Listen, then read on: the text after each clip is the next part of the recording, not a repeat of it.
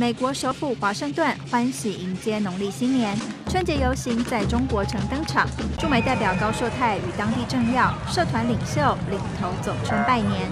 由于日前美国国务院亚太驻青提名人董云商在国会听证会上说出美国不承认台湾是一个独立国家，发言引发关注。对此，高硕泰回应：台美沟通无碍。我想我们在第一时间呢。在沟通上绝对没有问题，我们也表示我们的立场，他们也了清楚的了解我们的诉求，所以沟通无碍。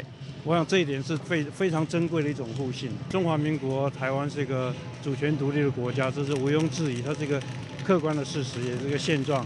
所以我们会继续呢来维护我们的民主价值跟我们的生活方式。高硕泰强调，台美关系重要密切，可长可久。过去一年，双方达到很多成就，期许未来在各领域一起继续努力。我们是只有更好，没有最好，所以大家还要继续努力呢。透过呃最深厚的互信，那么当然我们共享的价值跟共同利益，加上台湾关系法。我想六声保证啊，这一部分的这一部分可以让我们双方的这个关系呢继续呃往前奋进。华府春节游行吸引大批民众和游客共享盛举，气氛热闹。